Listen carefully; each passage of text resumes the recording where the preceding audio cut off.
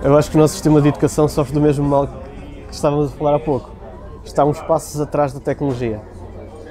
Porque é um sistema que ainda tem muitas bases do Taylorismo, em que formamos as pessoas para aquela função e pronto, não é preciso mais. Entram na escola, sentam-se na secretária, aprendem e vão para casa e eventualmente vão para um emprego. Eu quando saí da escola, uma amiga minha gozava imenso comigo, porque eu dizia-lhe, não sei fazer nada, não faço ideia do que é que eu quero fazer daqui para a frente. O quê? Vamos para a universidade, vamos para o, para o secundário, mas eu ainda não percebi isto. Vou para o desemprego. Era o que eu lhe dizia sempre. E ela gozava. Tipo, mais nada, há de encontrar qualquer coisa.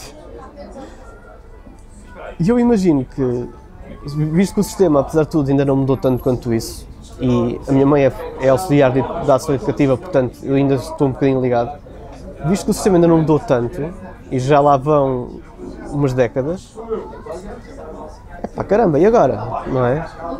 Onde é que estão as aulas de sentido crítico? Eu próprio só comecei a ter filosofia no nono ano.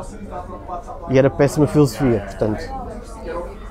Uh, depois, as outras áreas, informática, havia uma sala de computadores e a única coisa que nos ensinavam era vamos lá mexer no Word. Certo, mas e a parte de criatividade juntar à tecnologia? Ainda não há assim essa interação. Havia as aulas de uh, tecnológica, em que realmente podíamos brincar um bocadinho com circuitos elétricos, mas não passava daí. E hoje em dia há tantas coisas que podemos usar para os miúdos, seja para construírem qualquer coisa, seja para programarem qualquer coisa, mas não estou a dizer que tenham que aprender a programar, mas só que comecem a construir coisas por eles. E ensiná-los, se calhar, a olhar para tudo como um problema.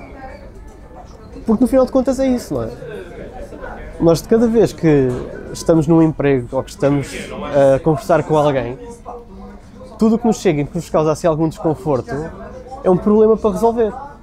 E o processo é muito simples: é vamos contextualizar, vamos avaliar as opções, qual é que funciona melhor. Esta parece funcionar bem. E voltar a repetir para ver, ok, funciona melhor se eu fizer aqui estes ajustes. Isso é um processo que é transversal e que pode ser aplicado à produção de conteúdo, para jornais, para rádio, para o que for, e pode ser aplicado para a construção de obras de arte, pode ser aplicado para a construção de coisas novas de tecnologia. Acho que falta isso. Acho que falta quebrar um bocadinho os estilos que existem nas escolas e pôr as disciplinas a funcionar um bocadinho mais em conjunto.